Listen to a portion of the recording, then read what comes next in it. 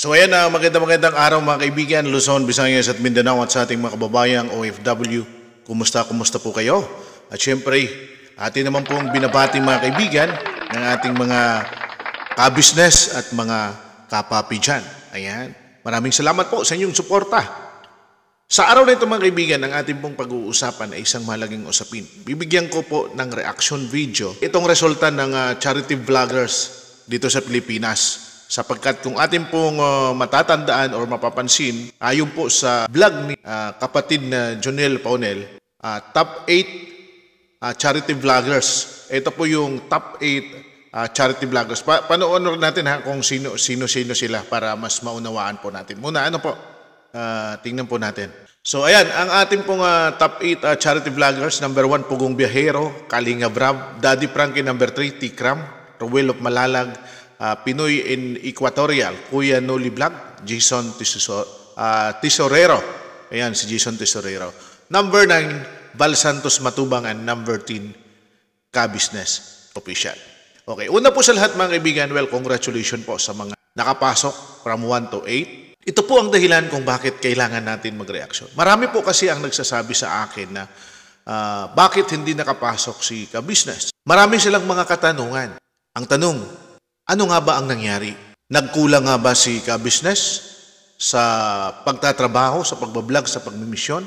Ito po ang ating tutumbukin mga kaibigan sa araw na ito. Pero ang hiling ko sana, tapusin ninyo ang bidyong ito nang sa ganun po ay hindi tayo malihis sa isyo.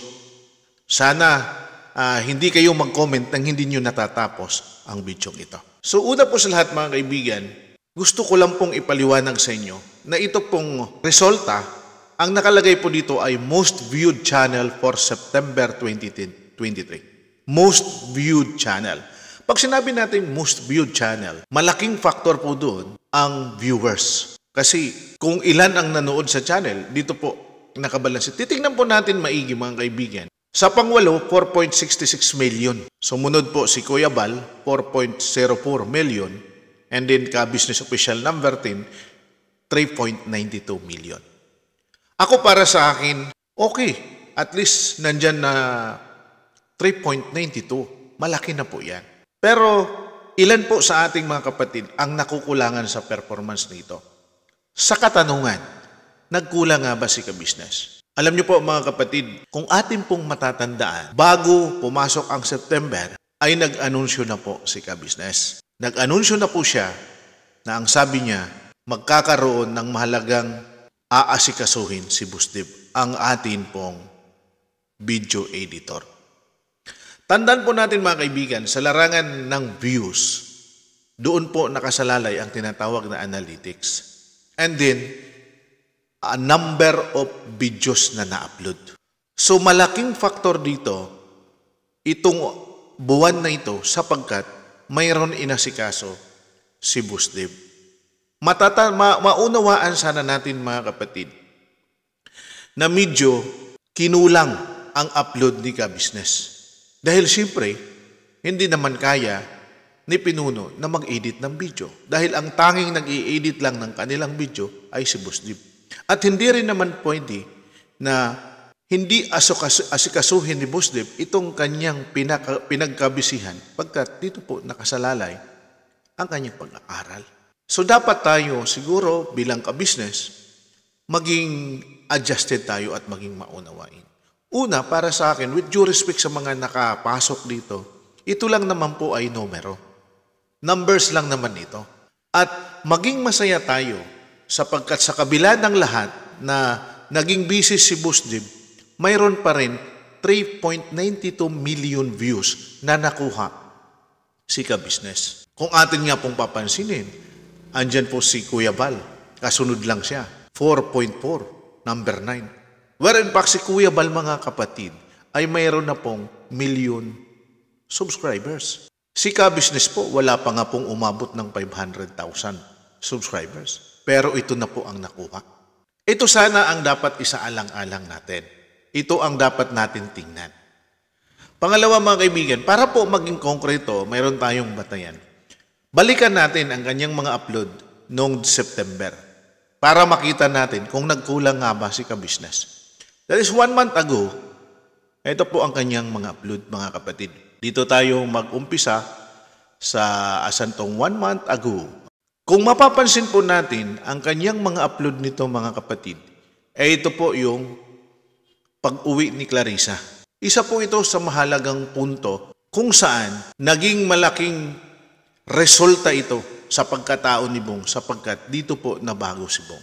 Pangalawa, dito po yung pagsasaayo sa problema ni Lito at Vera. Ito po yung mga tinakbo ng kanyang content. Birthday ni Intoy.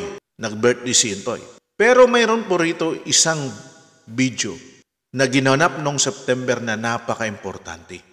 Ito po ay ang pagtulong nila kay Ate Bibi na pinsan ni Kuya Bal kung saan binigyan nila ng pagkakataon na makakita.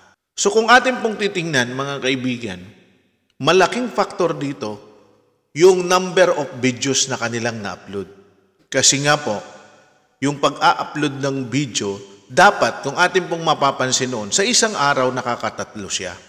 Pero dito, halos minsan, isa na lang sa isang araw. So kung pagbabasihan natin ang performance rating doon po para makapasok, balikan natin, para makapasok po dito sa uh, top 8 charity vloggers, malaki po ang performance uh, na nabawas in terms of views dahil po sa number of videos. Nauunawaan natin na ang ating mga kapatid ay mayroon po silang iba-ibang hilig sa panunood. Kung atin pong titingnan, mayroon mga nanunood kapag ang topic po ay klabong. Marami po ang nanunood. Uh, mayroon naman moderate kung sa kagwang, ano sa 3M, or mga good vibes. Ilan nga po ang nagsasabi na sika business, good vibes na lang ang kanyang ginawa. Ito po mga kaibigan ng mga vlog niya na good vibes ay para mapunan yung analytics na kulang. Kasi mas madali. Kung atin pong makikita, nagkaroon po ng mga live streaming pa rin si Ka-Business. Para lang po mapunan yung pong analytics. Meron po kasing sistema sa YouTube na nakabase sa analytics. Pero, meron po sanang nagawa tayo kung sakaling ganon. Dahil nga po sa sinasabing ito po ay nakabase sa number of views. Kung nagkataon po sana na ang pinanonood natin or lahat ng video ni Ka-Business ay napapanood po natin na susuportahan, malaking tulong po yan para makaangat siya kahit man lang sana pang walo. Kaya nga lang, nire-respeto natin at inuunawa natin ang ating mga kapatid na ka-business na mayroon po silang kursonadang panoorin.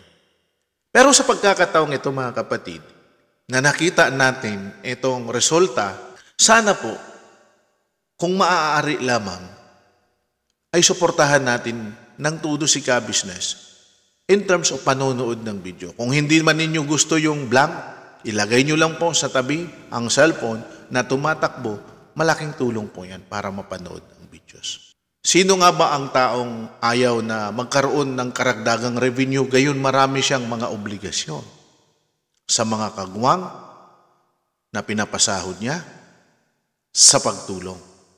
Dito po sa larangan ng pagtulong, maraming nagsasabi na si ka-business daw di umano ay limitado na yung kanyang pagtulong, nilimitahan doon. Alam niyo po mga kaibigan, syempre naman po dahil tulad niya ng sinasabi natin, since number of views ang pinagbasihan dito, may factor din po siya na nakaapekto sa revenue. Kung atin pong mapapansin, mayroon po isang vlog si ka-business na pinakamalaki doon ang nailabas na pera. Ito po yung kay nanay baby, hindi po ba? Pero kung papansinin naman natin, yung pong nangyari, hindi nga po umabot ng 100 views eh. Dito, dapat isaalang-alang natin itong ganitong klaseng attitude ni ka-business.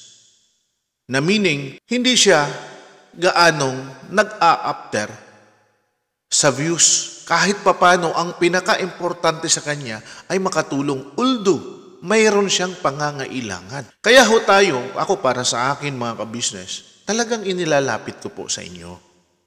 Na para sa atin, isa po sa pinakamainam dahil very unique po si ka-business. Siya lang ang bukod taming vlogger na mayroong mga responsibilidad na pinapasahod mula sa kanyang sariling revenue ang bukod tanging may tutulong lang po talaga natin ay suportahan ang lahat ng kanyang mga videos na wala po tayong pinipili at hindi po natin ini-skip ang ads.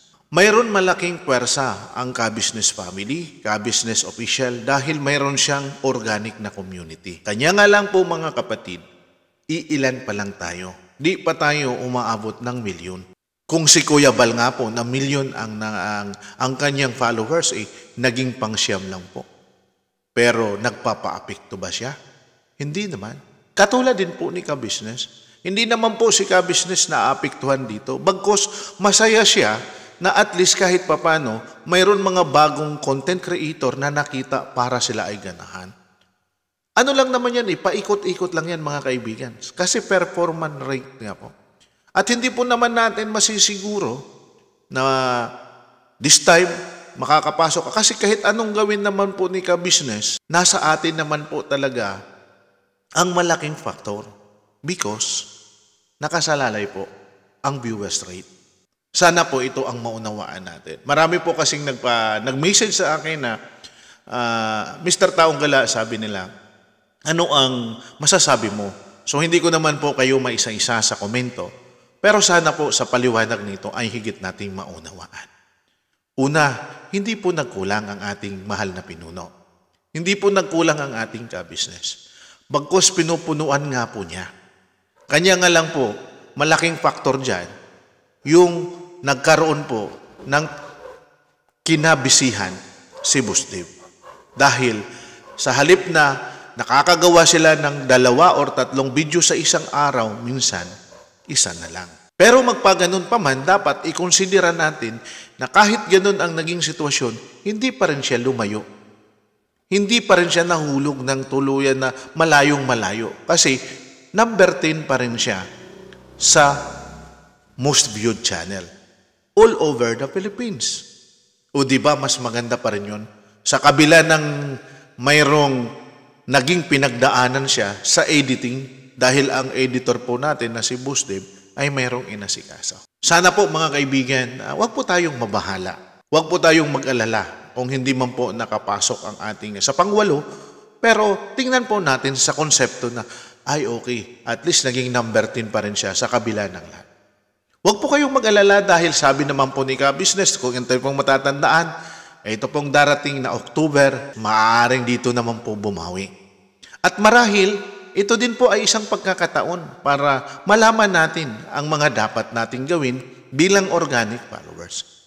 Na malaki pala ang factor kapag tayo ay nanonood ng lahat ng kanyang mga video. Makakatulong po iyan doon sa number of views. Siguro naman mga kapatid, maunawaan natin ang ganito. Ano po? Yan pong mga ating ginigiliw na mga charity vloggers, umiikot-ikot lang yan. Minsan nahuhulog din, minsan nandyan, pero katulad nga ng sinasabi, hindi naman sila apektado. Bakit? Kasi ito naman po ay numero lamang. Masarap, masaya kung nakikita ka, kasi siyempre, nakikita ng ibang tao for recognition purposes. Pero, hindi naman po natin magiging hawak ang pagkakataon. Kahit si ka-business, hindi niya kayang hawakan ang pagkakataon. Gustuhin man niya na laging number 3 kasi nakadepende nga po yan sa manonood ng video. At kung ating i-assess, balikan lang natin kasi marami ang nagsasabi na kasi wala nang ginawang sika business kundi mag, mag good vibes kung ating pong i-assess, malaki pa rin ang faktor na ginawa niya rito in terms of humanitarian mission. Una, balikan lang po natin, ang pagmi-mission po ni Mr. Ka-Business ng ating pong pinuno ay nakabase po yon sa resources. Limitado lang po ang kanyang resources. Dahil nga po sa number of views. Kung titingnan natin, lahat ng bagay apektado. Pero tayo bilang simple at organic followers, sa simpleng panunood lang ng video na hindi mo skip ang ads, lahat ng video na dadaan sa wall natin na ginagawa ng ka-business, malaking tulong na po yan. Para umangat ang views, umangat ang revenue, at kapag umaangat ang revenue, mas marami siyang matutulungan. Ganun lang po kasimple yan. Huwag po tayong malungkot, mga kapatid. Ang pinakaimportante, ang ating mahal na pinuno ay hindi nagkulang sa larangan ng pagtulong. Maunawaan lang po natin kung bakit. Ito pong pagpapaliwanag ko, sana po ay mas naunawaan na natin ang lahat. Sana po ay naunawaan natin kung bakit nagkaganon. Una, once and for all, isummarize natin. Number one, dahil po nabisi si Busdim, mayroon pong inasikaso na importante para po naman siyempre sa kanyang kinabukasan. At dahil nabisi siya, nabawasan po ang number of uploads ng ka-business. Malaking factor din po dyan, yung ating mga kapatid, ano po, na minsan ay kung hindi nila korsonada yung video, ay hindi po nila napapanood. Ah, ako po'y umaapila sa inyo na sana naman po mga kapatid, kung hindi man natin korsonada ang video, ang vlog, it is because gawa po ni ka-business at tayo po ay nagmamahal sa ating pinuno, ilagay na lang po natin ang video sa tabi yung ang inyong pong cellphone sa tabi, eh, play na lang po ninyo kahit hindi po nyo napan, napapanood, malaking tulong na lang po yun. Malaking tulong po yun. Bawi tayo sa susunod, mga kapatid. Ano? Huwag po tayong malungkot. At sigurado naman po na, na this time nakikita naman po natin ay nagkakaroon na po ng mga karagdagang videos in in one day, mayroon na pong mga upload ano po dahil po available na po si Postem. At doon po sa nagsasabi, ano, liwanagin ko lang bago tayo magtapos, na si ka-business ay puro mga kagwang lamang. Iyan po ay isa ding makadahilanan na ang buwan ng September ay buwan po ng kanyang kaarawan. At hindi po natin maisasantabi na ito pong mga kagwang ay kabahagi ng kanyang journey sa YouTube, sa YT. At kailangan din natin balikan bilang kabahagi sila para magkaroon ng isang masayang kaganapan. Tandaan po natin, ang bawat kwento ay mahalaga sa araw na ito. At kita nyo naman, yung 1, 2, 3 na parts ng kanyang mga video sa kaarawan, ang dami pong pinaiyak. Dito na lang po mga kaibigan, maging masaya tayo. Sa muli po, sana po, tayo po ay sabay-sabay na manood ng video. Huwag po nating i-skip ang ads. Tulong natin sa ating pinuno. Huwag po kayong mag-alala, promise yan Kapag ginawa natin yan, malaking tulong yan para umangat muli ang ating ka-business. Ako po muli si Taong Gala mga kaibigan. Please follow and connect ka-business official and Papa Dins. And of course, uh, ka-business family. Ganoon din po ang inyong abang lingkod Taong Gala. Sana po ay naliwanagan ko kayo o nabigyan ko kayo ng munting paliwanag patungkol po dito. Ito po ay base sa aking sariling pag-analisa at sariling opinion base po sa mga kaganapan sa isyong yan. Hanggang sa muli po mga kaibigan, taong gala, paalam pa sa man. So yung mga ka-business, uh, makikisuyo po, pakisuportahan natin si Taong Gala. No? Yan, taong gala po. Yan po ay uh, reactor ng ka-business official at Papa Dean's TV. Nagpaalam po yan mga ka-business, ayun na, uh, pakisuportahan po natin siya. Taong Gala. Opo. Salamat po na marami, God bless po.